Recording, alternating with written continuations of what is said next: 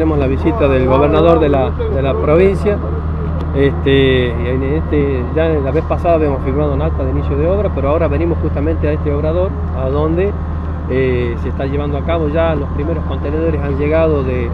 de los distintos lugares de, la, de, de las empresas y están haciendo la nivelación y bueno, como bien dijo el gobernador, ¿no? Eh, es una obra que va a durar 24 meses, es una obra que trae múltiples beneficios para la ciudad de Concepción. También le estaba comentando que nosotros tenemos en la ciudad de Concepción casi 98-99% de las cloacas conectadas de, la, de, las casas a la red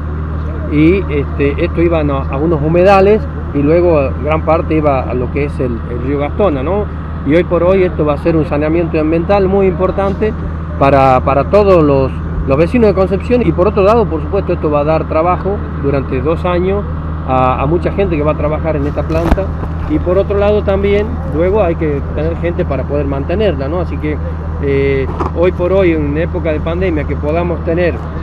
una empresa trabajando y con, con un monto casi de mil millones de pesos es muy importante creo que para todos los tucumanos, ¿no?